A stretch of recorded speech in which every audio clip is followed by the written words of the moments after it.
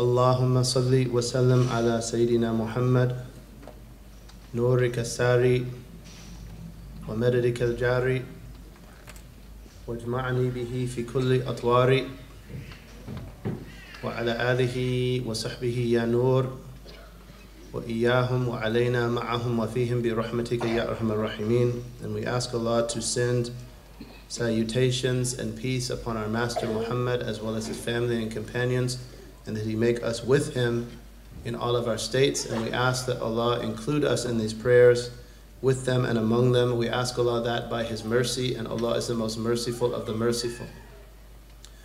And Abbas bin Abdul Muttalib said, mentioning the Mawlid of the Prophet and when we are in this month of this Mawlid and this month in which this radiant being in body and spirit emerged into this realm, and that's what we commemorate, and we ask Allah subhanahu wa ta'ala to give each of us a strong bond to Him and give each of us an increase in that light and that we follow his guidance. So Abbas mentioned his birth in poetry, and the Prophet ﷺ encouraged him, saying, Speak, and may Allah preserve you from losing your teeth. And he said, ومن قبلها طبت في الظلال وفي مستودع حيث يخصف الورق ثم حبت البلاد لا بشر أنت ولا مضغة ولا علق بل نطفة تركب السفينة وقد ألجم نصرا وأهله الغرق.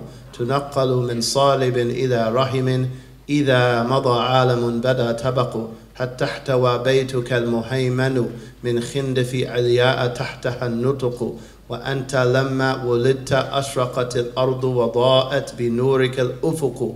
فنحن في ذلك الضياء وفي النور وسبل الرشاد نخترق So in these last two lines, Al-Abbas, he said, When you were born, the earth was illumined and the horizons shone with your light. And we are in that light, and we are in that radiance, and we travel the pathways of guidance.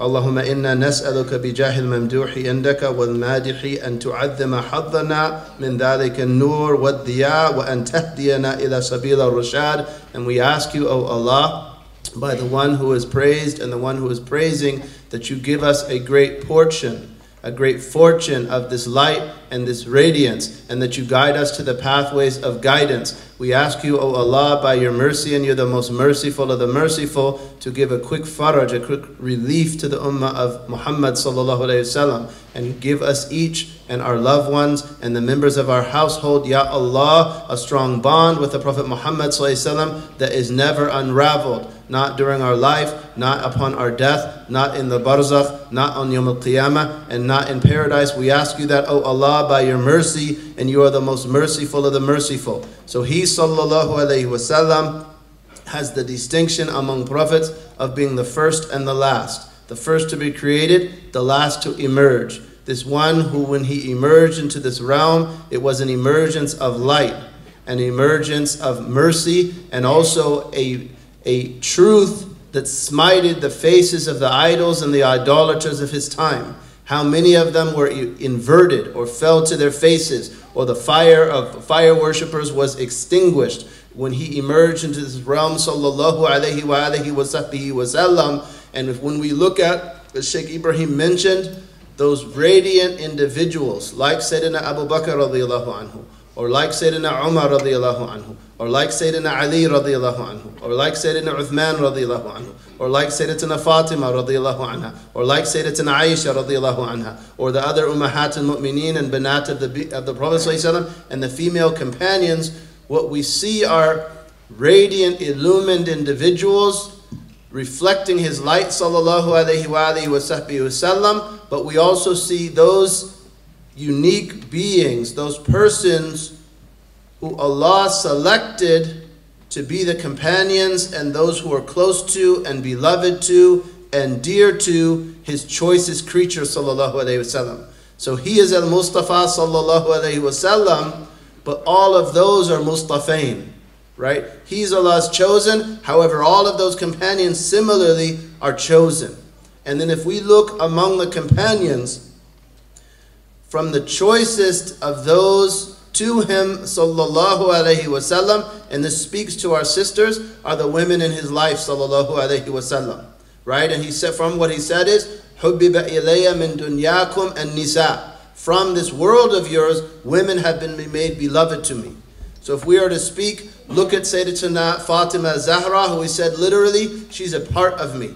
Fatima is a part of me. What saddens her saddens me, and what gladdens her gladdens me. And then look at Sayyidatuna Khadija al Kubra, who our Mashaykh referred to as Hubaba Khadija, that great beloved Khadija. He praises her with a praise that if we were to list all of the praises that he gave her or that was given to her, perhaps this, with respect to, to the faqir, would be the dearest. This was what I would long for. This was what I would wish for. for. He said, sallallahu alayhi wasallam, of her, Inni ruziqtu hubbaha. Surely I have been provided or sustained or it's been bestowed upon me her love. She has a testimony of being beloved to Allah's beloved sallallahu alaihi wa. She has a testimony of virtue from Allah's beloved sallallahu alaihi wasallam, who said, "Khayru nisaiha Maryam wa khayru nisaiha Khadija." The best of its women are Maryam, and from the meanings of that is the women of the world or the women of that ummah. The best of the women of the world are Maryam, and the best of the women of the world are Sayyidatuna Khadija. And this is a selection undoubtedly that was given to her by Allah. She was chosen by the best of creation, but he, she in herself was a noble individual, a pure being, someone with noble intentions. And we've spoken much about marriage. One of the things we can say, and her life certainly is a testimony for that. The most in, the beginning of a marriage and the beginning of a family and the beginning of child rearing is in what is in, in, in an intention. And she was someone who had lofty intentions. Her intentions far outstretched the world, far outstretched wealth, far outstretched um, influence. She was a wealthy woman of, of Quraysh mentioned to be of the most wealthy and noble, or the most wealthy and noble and greatest of the people of Quraysh. She would send a caravan. Quraysh would send a caravan, and her caravan alone would equal that of the rest of Quraysh. She was married twice, as Sheikh Ibrahim referenced. She was married to, to Abi Hala bin Zurara at Tamimi. And she was married to Atik bin Ayad al Makhzumi. She had children from each of them, from Hala, Hala, and Hind. From, uh, from Atik, Hind, Hind was female, the other two were male. She had been widowed twice, despite that, due to her nobility, due to her honor, due to her wealth and status among Quraysh, the nobles of Quraysh sought her hand. They offered her money. They would, she would have gained status. Al Habib, he's a young man. He's not a wealthy man. He's 25 years old. However, she had an immense intention. We talk about having a high aspiration, inspiring for those things that are elevated, like the beatific vision, like proximity of Al Habib in the Akhirah, like Allah and His Messenger in the Akhirah, not lowly things like the world, like wealth, like status. She had a high aspiration. She aspired to be with the last Prophet. And that also speaks to, again, the, the, not just the importance, but the influence of intention. Right? Junaid bin Muhammad said if someone opens for himself or herself the door of a good intention, Allah will op- open for them 70 of the doors of tawfiq. She intended to be the wife of the last prophet. May Allah subhanahu wa ta'ala be both pleased with her. And Ibn Abbas narrates and, and we've mentioned in these nights of virtues the various predictions of this last Prophet.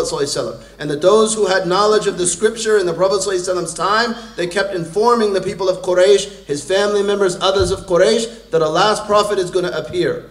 So Ibn Abbas mentions that there was a celebration of the ladies of Quraysh, and a Jewish man approached them and yelled with, at the top of his lungs, O women of Quraysh, a prophet is getting ready to appear among you. Any of you that can be his wife, let her do so right? And he's interrupting a party, right? He seems like a, a, a, wandering, what do you say, a darwish, as we say, you know, yelling about prophets and this and that. So the ladies actually start stoning him and insulting him, and Sayyidat Khadija was silent from that, and she remembered what he said, right? She remembered that there's a prophet coming and intended to be the wife of that prophet. And she observed Al Habib sallallahu alayhi wasallam. She observed in him his akhlaq, his character. She observed in him his truthfulness, his honesty, and he was known for being honest. And he had no other nickname among the people of Quraysh of Mecca at his time other than Al Amin. She observed in him his trustworthiness. And she offered him a bargain, and she would hire men to take her him and split the profits with them. She offered him to take her, her merchandise and engage in trade for her, and she said she would give him double what she gave another man. And undoubtedly, she had an idea that this was him, sallallahu alayhi wasallam. And she was testing him, sallallahu alayhi wasallam, and she sent a servant of hers, Maysara, uh, with him. So Maysara witnessed the monks predicted this is the last prophet. No one has sit under, sat under this tree since Isa other than the last prophet. They noticed, uh, noticed his honesty, noticed his trustworthiness, noticed his akhlaq, noticed the, the, the cloud shading him wherever he went, and in a narration, angels shading him wherever he went. So he returns with the caravan of Al Khadija, and she's sitting on an elevated position in her in her home, observing them approach. And in some narrations, she sees a cloud shading him. In some narration, she sees angels shading him. Oh. And Maysara rushes and informs her of what he saw, what he saw of the Prophet ﷺ, of his akhlaq, of the wealth that was earned. And he earned more than the other men, and she doubled what she promised to pay him of this monk in predicting his being the last prophet, sallallahu alaihi wasallam. So she said she sent, or a, a, woman, Ibn Sa'ad narrates that a woman named Nafisa said that she sent me literally dasisa. Like she sent me as like a messenger or like a spy, right? To go and ask the Prophet sallallahu what stops you from, from marrying? Why don't you marry? What if you were invited to someone who is wealthy and beautiful and noble and suitable for you as a wife? Would you respond? And he said, And, and what is that? And, and she said, Khadija. And he said, How would I do that? You know, I'm, I'm, I'm not, I don't have that type of wealth. He said, What if you were sufficed from the wealth? So then this woman, uh, Nafisa, she went and told Sayyidatina Khadija right? Inform Khadija that he would be willing, you know, if, he, if, if there was a way for that. So Sayyidatina Khadija said, tell him to come at such and such time, right? And some of the narrations mention specifically that she's the one who proposed to him, and then also other narrations that a message was sent, and then he came with um, the, his tribesmen, such as Abu Talib, such as Hamza, and proposed to her. In a narration of Ibn Hajar, the, or Ibn Hajar narrates in Fath Bari, Abu Talib narrates, or it's narrated that Abu Talib, when Muhammad went to respond to Sayyidatina Khadija's message, Abu Talib told a girl called Nab'a, follow Muhammad and observe what happens. Right? So Nab'a returned and informs Abu Talib that I saw something amazing. As soon as Prophet Muhammad reached the door, Sayyidatina Khadija appeared. And she took her hand and held it against her, her chest, right in her neck, or the base of her neck and the top of her chest. And she said, May my father and mother be your ransom. I'm not Allah, I swear by Allah, I'm not doing this for anything except that I anticipate that you are the last prophet. And if you are him, you pray for me to the Lord who sent you. Right? So she offered her hand. This noble woman, she was known as a ta'ira, right? A tahira, excuse me the, uh, the, the pure. She was known as Sayyidat, Sayyidatu Nisa'i Quraysh, the most noble of the women of Quraysh. The, from the most wealthy and greatest of station of the people of Quraysh, she turned away from all of that, turning to what? To prophecy, brothers and sisters. She had a himma. She had an intention. That is what gave her that immense station, or that is, we could say, what Allah inspired in her as a sabab, as like a means to attaining the station of being the most noble and dear wife of the best of creation, sallallahu alayhi wasallam, of being a being that Allah selected to be from the closest of people to the dearest of beings to Him, subhanahu wa ta'ala. Allahumma salli wa sallam wa barak alayhi wa. So Sheikh Ibrahim was talking about, are we choosing the way of Prophet Muhammad are, are, we following the way of Prophet Muhammad? We ask Allah to grant us to have intentions of witness of Prophet Muhammad.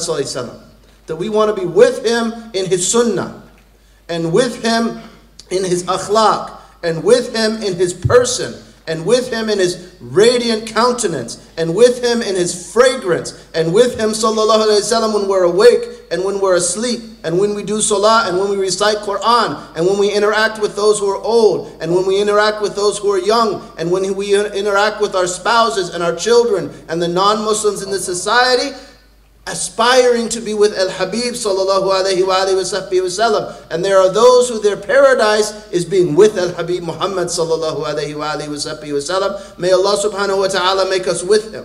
May Allah grant us to choose him over everything else. And that was what Sayyidatina Khadija did. Radiallahu anha wa ardaha. She could have had anything. All of the nobles of Quraysh offering themselves to her. She offered herself to whom? To Allah and His Messenger. She aspired to Allah and His Messenger. So they were married when she was 40 and he was 25, as Sheikh Ibrahim mentioned. And Allah subhanahu wa ta'ala blessed their home. Blessed their home and blessed her to be the grandmother, the great grandmother of Ahlul Bayt. Manaqib, unlike the, uh, with virtues, unlike the virtues of other women of her time, radiallahu anha wa ardaha. Right? And she served the Prophet sallallahu alayhi wasallam. She assisted him, as he said. She believed in me when people disbelieved in me. She affirmed me when people belied me. She supported me when others deprived me. Allah gave me children from her and denied me the children of other women. Right? All of his living children are from her, Sayyidatuna Khadija radiallahu anha. His four daughters and his three sons Two of them are from her. All of the sons died, but all of his four daughters, Sayyidatina Fatima, Sayyidatina Umm Kulthum, Sayyidatina Ruqayya, and Sayyidatina Zainab, all of them from Khadija. Also, Abdullah and Qasim. Qasim, Abdullah, Tayyib al-Tahir from Sayyidatina Khadija radiallahu anha wa aradaha. She has the distinction of being with him for 25 years straight. That he recompensed her for what she did for him by never marrying upon her, right? Never marrying another woman upon her, even if that would have been permissible. He mentioned, as he said, Inni ruziqtu hubbaha. She served him. Who does he return to after the cave of Hira that we'll see in the, the concluding nights of this virtues of this year's virtues? He returns to Sayyidatina Khadija, who is the first believer, right? The first person to willingly, voluntarily embrace Islam after he receives the revelation, we could, you know, you could say the first of the men is Abu Bakr, the first of the children is Sayyidina Ali, the first of the uh, slaves is Sayyidina Bilal. You could say that, and that would be valid. The first person without qualification, unequivocally, is Sayyidina Khadija radiallahu anha. She immediately embraces Islam.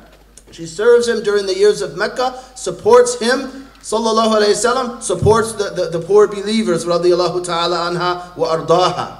She serves him with her own hands, again, despite her being older than him, despite her being wealthy herself. Uh, anha wa. And Bukhari and Muslim narrate that once she was coming and understand something, they talk about certitude, right? Certitude has ilm yaqeen, ayn yaqeen, haq yaqeen. Certain knowledge, certainty of sight, and true certainty. The Siddiqeen and the, the prophets and the Kummal, like the, the, the, the, elect, the perfected Siddiqeen, they're the ones in this station of true certitude, right? The unseen becomes the seen to them.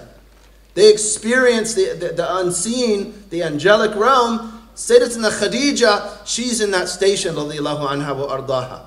Right? So she's going to meet the Prophet and she's never met Jibril, and Jibril appears to her right? And she's in awe, so she essentially flees. And then the asl of this is in al-Bukhari and Muslim, and then she comes to the Prophet ﷺ, and Jibril beats her to the Prophet ﷺ and says, here comes Khadija carrying a vessel of food or drink. When she arrives, give her salams from her Lord and from me. Right? Allah subhanahu wa ta'ala. Al-Haq Jalla Jalalu wa Ta'ala fi ula sent salams to Sayyidatul Khadija. Sidi Nada was mentioning, what if, uh, what if your beloved mentioned your name? Al Haq, the real Subhanahu wa Ta'ala, sent a greeting to Sayyidatina Khadija. Right? Istifa.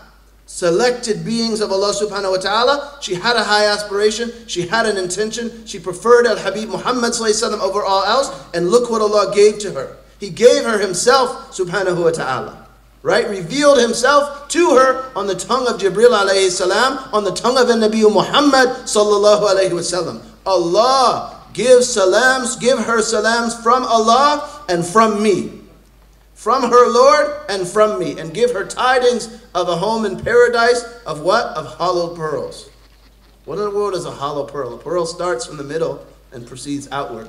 In Jannah, there's things that no heart has seen, no, no eye has seen, no ear has heard, nor has it occurred to the heart of any human being. I don't know what a hollow pearl is, but that's that's bin qasab, min hollowed pearls. La sakhaba fihi wa la nasab. There's no shouting therein, nor is there any weariness. Right? Because what did she do? She protected the Prophet ﷺ from all weariness, supported him, comforted him, sallallahu alaihi wasallam. So Jibril gives her salams. Right? So how does she respond? And they say of her that she was a woman that was hazima right? Like a firm woman, a strong woman, a noble woman. And we'll add to this, she was someone in haq yaqeen. She's an arifa billah. She's a faqiha, right? Someone with knowledge of God, someone understanding of the religion. The companions in Al Madinah, in their tahiyyah that we say, tahiyatu lillah, right? We greet Allah. Salutations to Allah. Some of them said, Assalamu ala Allah, right? The Prophet ﷺ corrected them. You don't say Assalamu ala Allah. Allah is salam.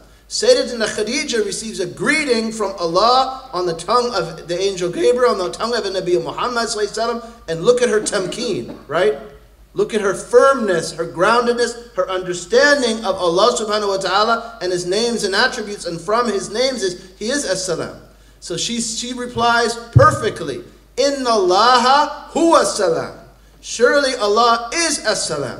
Wa ala Jibril As-Salam. And salam back to Angel Jibril, right? We're the friends of, of angels, ashab haqqal yaqeen. And upon you, O Messenger of Allah, assalam wa rahmatullahi wa barakatuh. Right? So she replies perfectly. So he lives with her, sallallahu alayhi wasallam, during those 15 years before receiving revelation, and she's anticipating that this is the last Prophet.